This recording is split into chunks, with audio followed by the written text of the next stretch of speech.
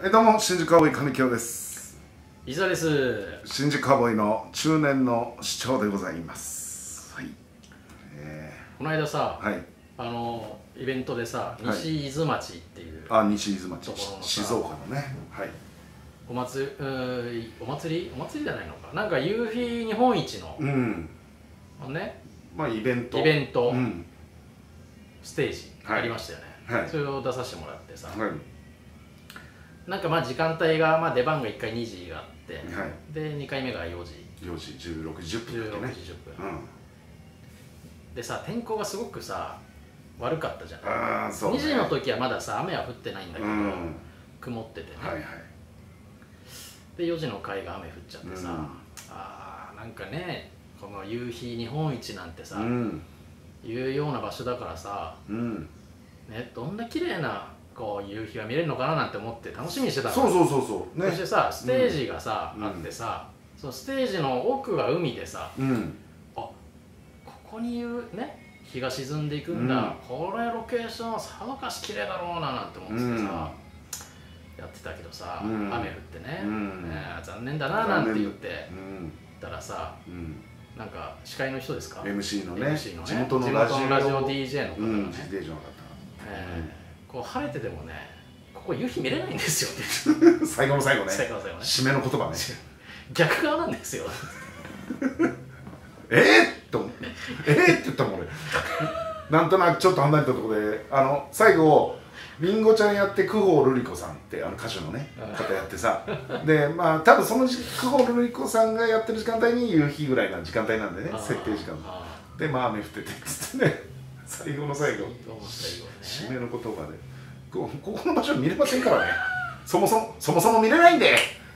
いや見れないんかい。っつって本当かなと思ってさその控室がさ民宿だったじゃん、はいはいはいで民宿のおかみさんにさ、うん。同じ話してさ「うん。いやに夕日日本一なんですよね」うん。あーで雨降って残念でしたって言ったらさ「いやここ見れないよあそこ」全く同じこと言ってたもんね。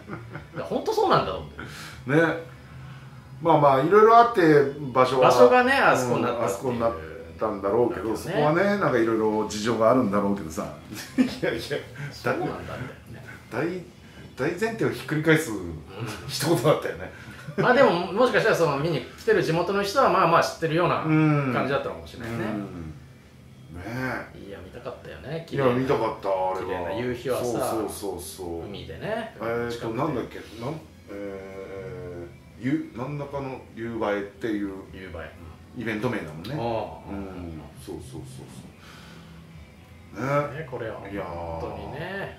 でもまあその DJ の方もすごいその静岡でものすごい有名な方なんで、うだからまあなんかそういうノリのジョーク。ジョークを言う方なんだと思うんだよね。でその辺ってほらうちは分かんない部分あるじゃん。そうそうそうそう。だから全然静岡の方は毎度おなじみな空気感の？あいやもしかしたら聞くのかもらんしそううちはその前情報ないとびっくりしちゃうよね。すごいこと言ったなーでまあ地元の人にとってはまあまあ共通のことなわけだよね。そうそうそうそうそう。旅館のおかみさんもう言ってるから、ん。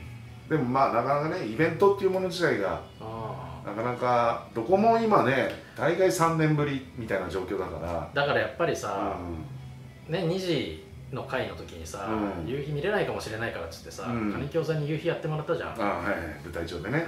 ああれお客さんからしてやっぱね良かったと思うんだよあああれ2回目やらなかったです2ね回目はなかった、うん。大雨降ってたから。大雨降ってそうそうそうあれね。うん。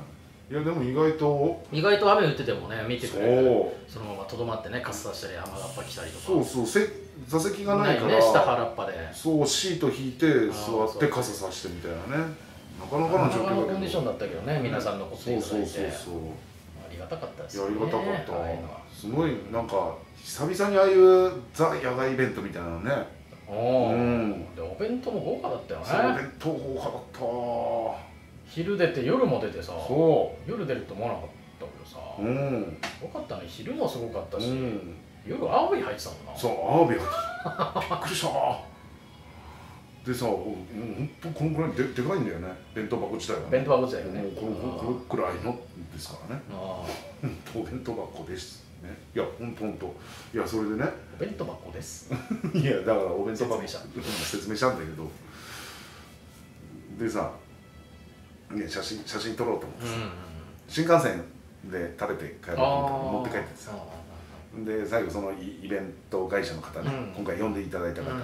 に三島の駅まで送ってもらったのね、はいはい。はいに2時間ぐらいかけてね。うん。そうそうそれで最後おあのキャリーケース持ったから、うん。キャリーケースの上に置いて「うん。あ今日はありがとうございました」っつってね車ブーンって出てるあのにさその時思いっきりひっくり返しちゃってさあらららら。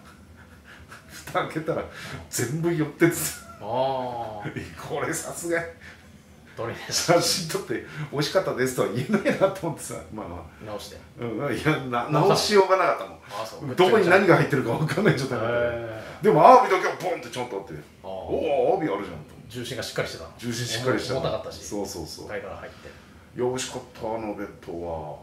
うん。すごいよね。そういやもうなんだったらちょっと一杯飲みたいなと思ったぐらい。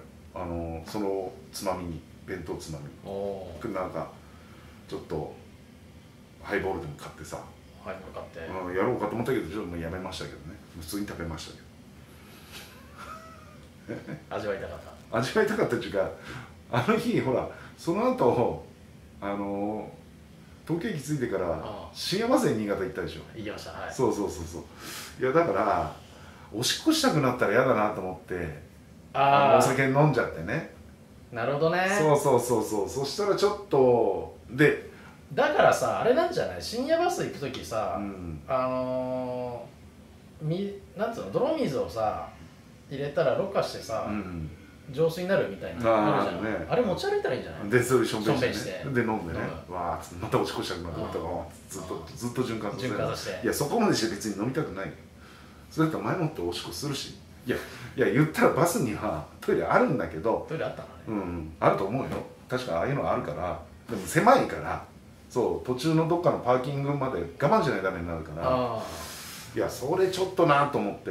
あ、でまあまあちょっとお酒飲むのはやめといたんですよね。ホースつければよかったじゃない。そのホースつけてどこに持って。いやこっからホースがポーってなって飲ん。だらそうしこしたいなと思ったら循環。人工ろ過器いやじゃあねそだからそこまでして別にお酒飲みたくない。だったらお酒飲まずに普通のお水かなんかにして。酔うのかな？酔う？そおしっこってさ、うん。するとアルコールも一緒に出ていくわけでしょ。ああそのおしっこ飲むと酔うんかな？どうなんだろうね。やってみたら？いや多少だって多分尿検査とかさそれこそ飲酒運転とかなんかしてたら尿検査とかしてアルコールが検出されたりとかあるわけでしょ？って考えたらあ入ってんじゃない？アルコール。でももう腎臓ですすでにろ過されてるろ過されてんのかな？完全に。ちょっとでもしょんしょんべんするとさお酒くせえなっていう時あるじゃん。お酒の匂いしてる時あるじゃん。はいそうね。あれはたもうアルコールが抜けて匂いだけが出てるのらかそうななんだ。やってみてよ。多少ね。うん。これになるかもね。うん。ほろ酔い ほろ酔いしょんべんなしでやるそれだね。そういう意味のほろ酔い言ってないから私それは怒られるやつです。そういう意味で黄色い黄色いパッケージいやそこまで言ってないです。そ普通にか軽酔いすんのかな。金清味。ほろ酔い金清味。ちょっと私。黄色いパッケージの金清味。そそんな広げられても私何も喋りません。いやいやどうなんだろうね。その辺ね、うんまあ、絶対やりませんけど、でも気にはなるよねうん、気になるでもろ過されてんだよね腎臓で、まあアルコールそうね。そうだよね。腎臓だよねアルコール、うん。肝臓？なあ。まあでもその辺で分解してるわけだよ、肝臓じゃないの？アルコール分解して出るときはじゃあまっさらなあれで出てるのかな浄水で。浄水では出てないしやっぱりこう不純物とかなんかいろいろ出てるでしょ、うん、あったけどね飲料健康法みたいなね。ね。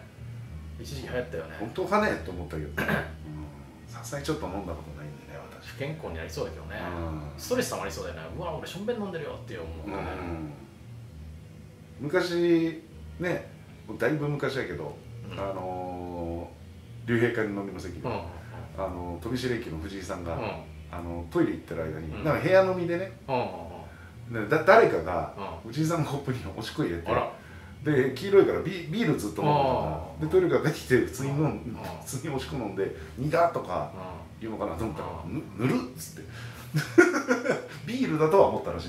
ぬるいビールっていうことで。ということはだからもうちょっとアルコール風味が入ってたわけだよね。ね、香りとかがさみんなだって周りのどんちゃんで飲んでるわけですよそうそうそうだからまあもしかしたらね。もしかしたらね。